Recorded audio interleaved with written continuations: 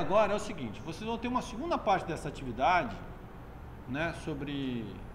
Então, deixa eu apresentar aqui, né, porque isso está sendo gravado. Então, essa aula é referente a uma primeira atividade, não é, de para a gente fazer uma espécie de é, estudo ou análise é, de aspectos relacionados a um problema, que é o problema do coronavírus, tá certo?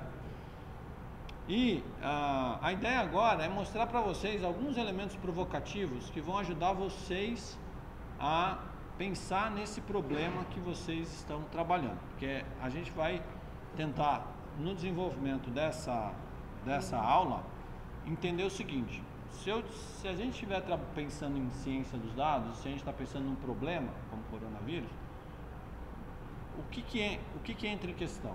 O que está envolvido? Quais são as coisas que a gente precisa pensar, etc.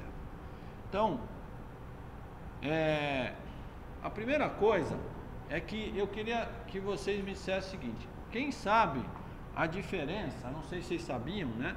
Mas existe um código. Eu acho que é melhor talvez apareça a luz da daqui, né?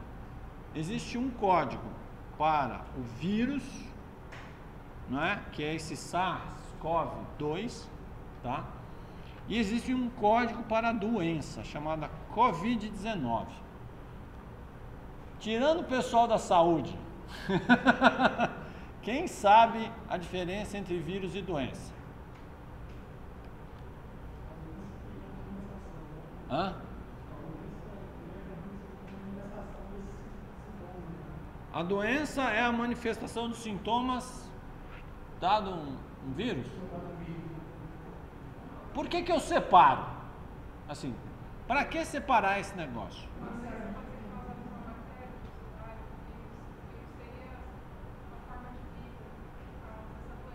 Mas tudo bem, você tem razão. Eu posso pensar numa doença que é causada por um agente, por vários agentes diferentes. Se eu estiver falando pneumonia genericamente, eu posso ter várias coisas que causam pneumonia. Mas quando eu dou um código muito específico, não é, para a doença, será que eu posso ter mais de um agente para essa doença específica? É um provocativo aí para vocês. Se eu não puder, por que diferenciar?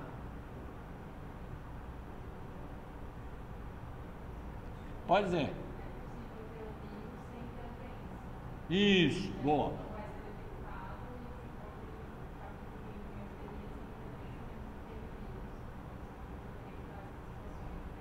Exatamente, é isso que a gente vai trabalhar aqui agora. Então, o vírus é o agente causador. A doença é a manifestação. A manifestação é igual para todo mundo? Não é. Tá certo? Não é. A gente tá vendo aí. Tem gente que morre, tem gente que não morre. A galera ainda está estudando, tentando entender. Né? É claro que é muito interessante se a gente olhar a sociedade, vocês veem como eles entendem pouco de ciência. Né?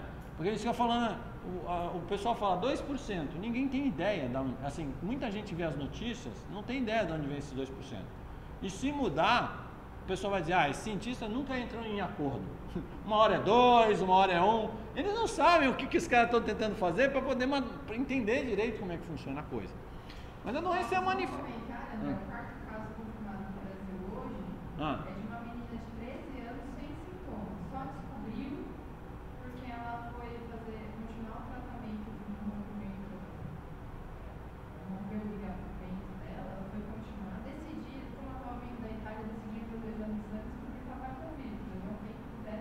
Zero sintoma. Então, então é, é, exatamente isso. Quer dizer, tem, tem um caso da menina que está com coronavírus aqui no Brasil, quarto caso, e nenhum sintoma. Tá? Tem isso. Então a doença, ela, ela pode ou não se manifestar e pode se manifestar de maneiras diferentes. Tem gente que vai ter o problema respiratório, tem gente que não vai ter.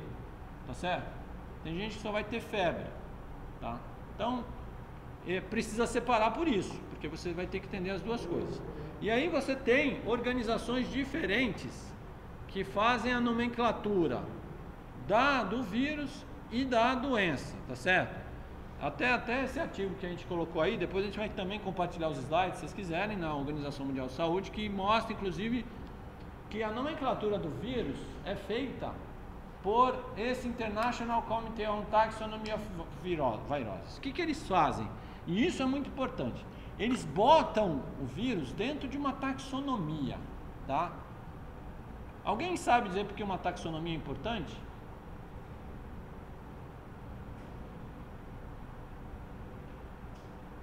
Para dar emprego para a galera que desenha os gráficos? Né?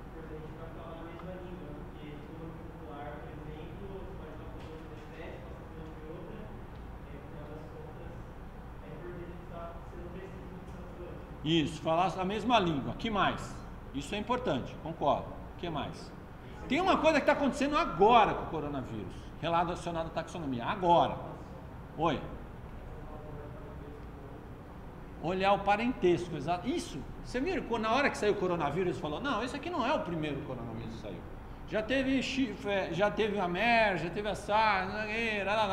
Aí assim, olha, os coronavírus se comportam geralmente desse jeito, contamina assim, parará. Então, a taxonomia é fundamental para entender isso aí. Tá certo? Se não existisse taxonomia, ia ser assim: temos um vírus. É, é. O que, que a gente faz? Não sei, é um vírus. Talvez a gente nem chamasse de vírus, né? Porque se não tem taxonomia, temos um micróbio atacando a gente, né? É, a, a doença também né, tem o famoso ICD, isso é bastante usado em N esferas aí, para você, é, em hospital, em tal, para você classificar a doença, tá certo? É, aí você pode usar a classificação da doença para você falar sobre é, prevenção, sobre como a doença se espalha, como se transmite, severidade, tratamento, enfim, você pode, é importante ter essa classificação da doença, tá certo? É, eu vou falar rapidamente uma coisa aqui, que na verdade é, isso remete a uma questão e na verdade isso é um provocativo para vocês pensarem mais no que vocês vão trabalhar aí agora, tá certo?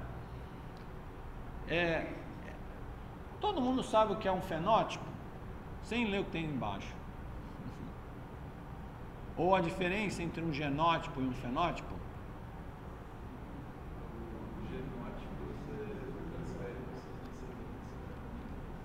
O genótipo você transfere para os descendentes, o fenótipo não. É uma definição bem interessante, assim, mas por quê?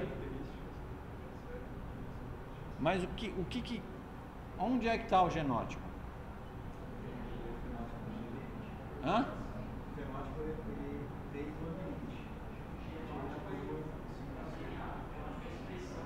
É, então, basicamente o que, que você tem? O genótipo é o código, não é? É o código da, da coisa, né? como a coisa está codificada. Né?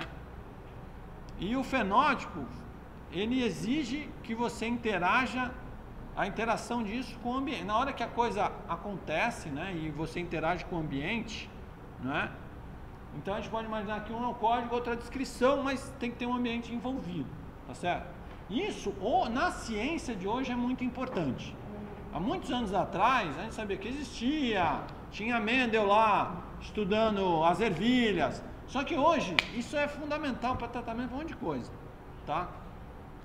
E é, o, não sei se vocês conhecem o Francis Crick, que foi um dos caras que descobriu o DNA. E ele lançou o famoso dogma, que assustou muita gente, né? Da, do, do que ele fala, que basicamente é, você se, se, você imaginar a vida, ela, ela tem essa, esse trio aí, que envolve DNA, depois a gente vai falar mais sobre isso, não vou entrar em detalhes. Quem não lembra do colégio que estudou, vai ter que pegar que gera RNA, que gera proteína, mas você pode ter alguns caminhos de volta em algumas situações específicas. Uma delas é vírus, por exemplo, né? É, então, a gente, se a gente fosse fazer um mapa, imaginando o que está envolvido, a gente imagina que tem um DNA, que, assim, isso é um dos caminhos, tá certo? E, na verdade, você pode ter volta em alguns casos, mas o DNA que gera o RNA, que gera proteína, mas aí você tem o meio ambiente, as características do meio ambiente, você tem drogas, é, você tem, e isso tudo vai gerar o fenótipo. E por que, que drogas estão envolvidas naquilo ali? Porque, de uma certa maneira, é, é, vocês têm que imaginar, o que eu estou chamando de ambiente é tudo que está externo ao código, tá certo? Pessoas diferentes vão reagir de formas diferentes a uma mesma droga, por exemplo, certo? E isso vai definir, definir forma física e você tem que prestar atenção que o fenótipo também é um processo. Como você se comporta, o que você faz, também faz parte do seu fenótipo. Certo? É, bom, para que, que a gente levantou tudo isso? Né? Por que, que a gente fez todo essa, esse levantamento aí? Porque agora vocês vão virar a folha. certo? E a gente quer que vocês juntem essas informações que a gente trabalhou aqui para começar a fazer uma reflexão de vários itens que estão aí progressivos sobre como. Já está na segunda pergunta, ciência dos dados? Já, né? É, na verdade assim, né? Então agora vocês vão